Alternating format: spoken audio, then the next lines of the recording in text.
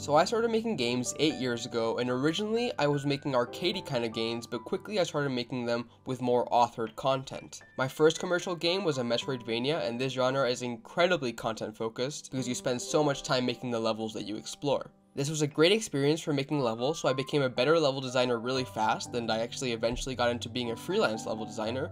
But if I were to do things again, I would focus on games with less authored content and practice my macro design instead of level design. So if we were to put games on a spectrum from authored content heavy games to not, the kind of game with the most authored content is something like The Last of Us. It has tons of handcrafted levels and fine-tuned details. On the other side of the spectrum, you would find something like a classical roguelike, like Rogue, which is basically entirely systems dependent. So what I'm saying is, if you're a beginner, you practice better skills in my opinion if you make something like Rogue instead of something like The Last of Us.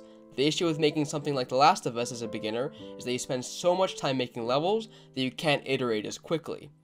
I'm finding this out right now with one of the games that we're making, Synth Beasts. It's kind of like Zelda, but instead of using items, you catch Pokemon-like creatures and use their abilities. The game is super fun and unique, but the content is basically entirely authored, which makes it more time consuming to iterate on. On the other hand, we've got our early access title, Soul Stalker, which is a roguelike. This game has very little authored content because it's mostly systems driven. This isn't to mean that it takes less time or that it's easier to make the game, but it does make it much easier to iterate on. Iterating doesn't involve redoing entire level blockouts, it mostly involves changing systems and tweaking them. So consider this, if you're a beginner, would you rather iterate on systems and authored content, or just iterate on systems? In my opinion, you improve as a designer much faster by just iterating on systems, and then once you get to the point where you're improving less quickly as a designer, then it makes more sense to make more authored games. I thought I'd come up with some examples of games on the spectrum in case you wanted to follow this video in your own game development journey. Something with very little authored content might be something like an arcade game like Pong, and then if you go up a level, you'll get roguelikes like Rogue, Slay the Spire, or Enter the Gungeon. Right in the middle, I would put turn-based RPGs like Final Fantasy or Paper Mario. I had to think really hard about this one, but because combat is so systems heavy, you end up doing lots of non-authored design work, especially if you have like a Final Fantasy styled world map.